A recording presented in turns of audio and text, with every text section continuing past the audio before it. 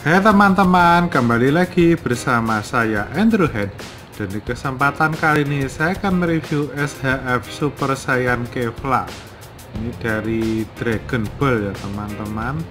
Seperti yang tampak di box depannya ini Kevlarnya. Ini petarung dari Universe 6 ya teman-teman. Dan di box samping ini boxnya cukup kelihatan agak tebal karena di dalamnya ini kita nanti dapat banyak aksesoris ya teman-teman. Dan ini macam apa ya bentuk-bentuk posenya teman-teman. Dan ini efeknya ini cukup cantik.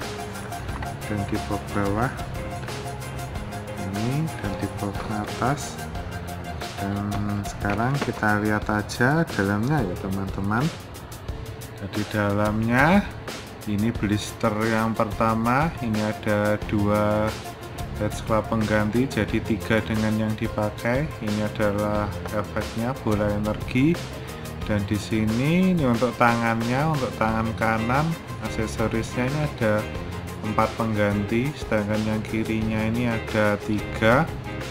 Dan di sini kita juga dapat sepasang tangan pose gini ya teman-teman dan di blister yang satunya pun ini ini ada sepasang efek jurus dari Kevlar ya teman-teman. Ini juga ada tangannya. Jadi kurang lebih seperti ini yang kita dapat. Ini hitungannya cukup mewah dan ini dulu harga PO nya satu juta lebih ya kalau tidak salah ingat. Sedangkan saya dapat cuma 680.000 di lelangan dan seperti biasa sebelum kita utak-utak kita lihat dulu manual booknya. Jadi begini ini cara menggantikan headstrap kepalanya. Ini cara memasangkan tangannya yang ini teman-teman.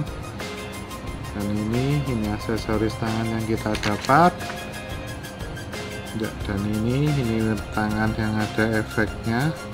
Ini cara memasangkan efek apa bola energinya. Dan sekarang kita lihat aja kevlarnya jreng.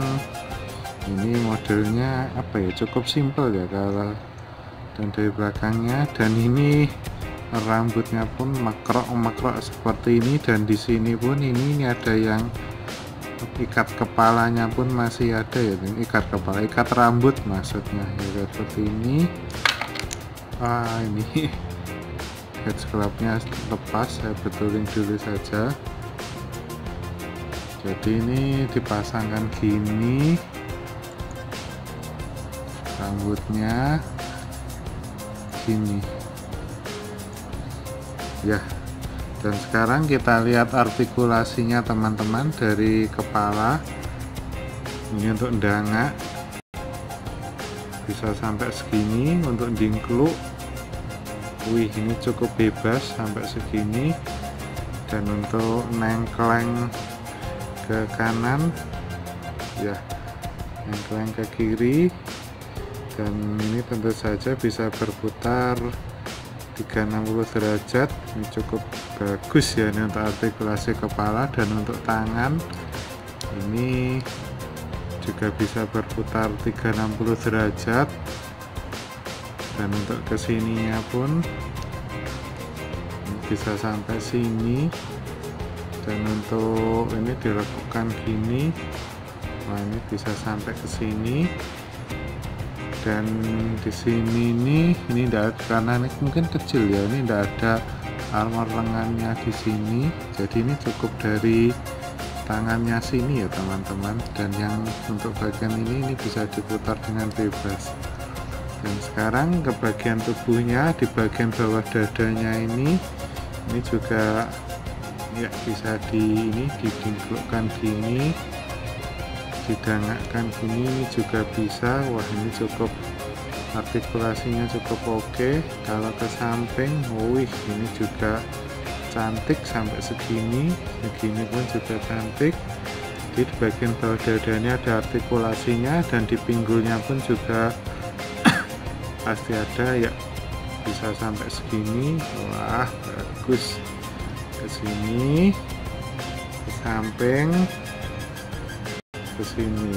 Wih ini cukup lincah dan sekarang kita coba kaki. Kalau kaki wow mungkin hanya sampai segini ya teman-teman. Ini sampai ke atas ini sudah meduk dan kalau ke belakang ini segini sudah cukup karena ini apa? Bagian sininya ini ini ada pantatnya ini, sehingga tidak bisa ke depan. Wih dan ini untuk tangannya ini ini bisa dicopot ya teman-teman. Ini nanti buat yang apa pose tangan apa sendaku di depan sini. Dan ini ini cukup sampai segini. Dan bagian kakinya pun ini gini ini tentu saja bisa diputar ini di ujung kakinya ini juga bisa dinaikkan gini ya. Dan untuk menendang mungkin ya bisa kayak gini mungkin teman-teman. Lihat dan ini tangannya tadi bisa dicopot. Ini satunya pun ini juga bisa dicopot. Nah gini dan ini bisa dipasangkan tangan yang ini. Nah ini ini ada lubangnya ini. Mungkin bisa di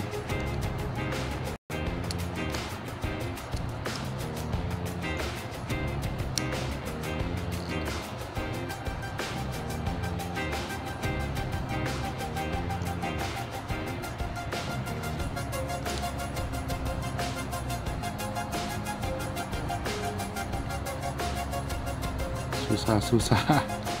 Gampang. Saya betulkan saja teman-teman.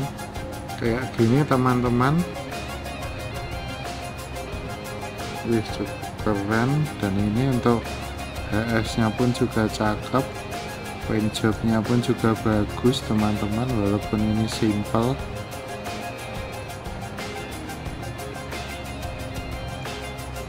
kita coba pose yang lain ya teman-teman. Pose berikutnya gini saja teman-teman pose sederhana. Kita coba manfaatkan aksesoris yang ada ya teman-teman. Jadi seperti ini aja. Kita coba ke pose yang lain. Pose selanjutnya gini saja teman-teman. Pose menunjuk. Saya mencontak ini teman-teman.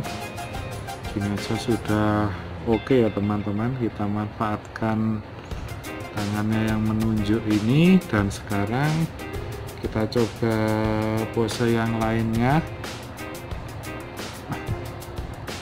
Pose berikutnya gini saja teman-teman. Ini mengeluarkan apa bola energi ya teman-teman.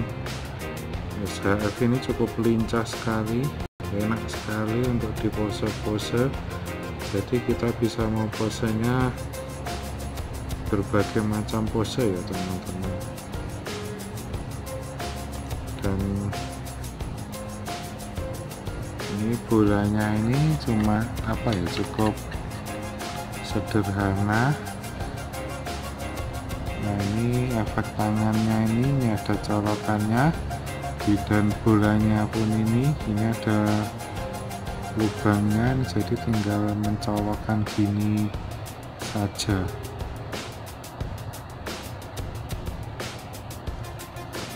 Jadi ya cukup gini saja teman-teman. Kita coba pose yang lainnya. Satu pose lagi kayak gini teman-teman.